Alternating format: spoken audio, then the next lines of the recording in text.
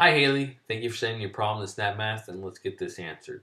Um, I saw that you sent this in earlier, and I know uh, my tutor Melissa answered uh, what she thought they wanted, but I, since I tutor someone in your class, I know uh, exactly what they want. They want to know the area of the rhombus, okay? So to find the area of the rhombus, here's the equation. It's area equals diagonal 1 times diagonal 2 over 2, okay? So now the information they give us, they give us this segment right here.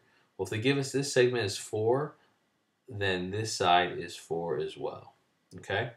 Another thing about um, rhombuses is where their diagonals um, bisect, they create right angles. So these are actually right triangles. So now, as you can see, we need to find out what this diagonal equals, okay?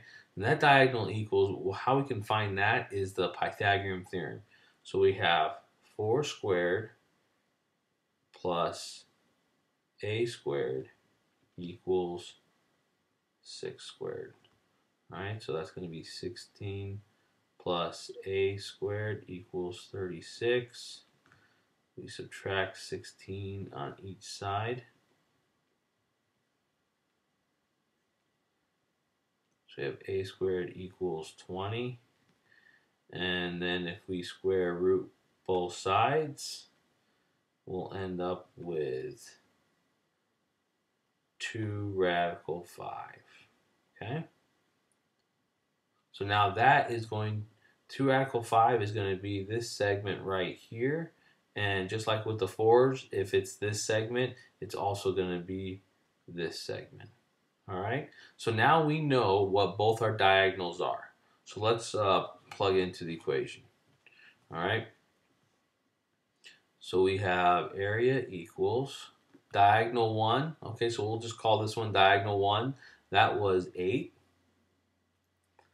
And we're going to multiply that by, now 2 radical 5 and 2 radical 5. When you add those together, it actually becomes 4 radical 5 divided by 2. Okay? And then we're going to combine 8. So 8 times 4 radical 5 will give you 32 radical 5 over 2. And then to finish the problem, we do 32 divided by 2. We'll cross these out, reduce it. So this will turn into 1. This will turn into 16. So your answer is going to be 16 radical 5. And that's the area of this rhombus. All right?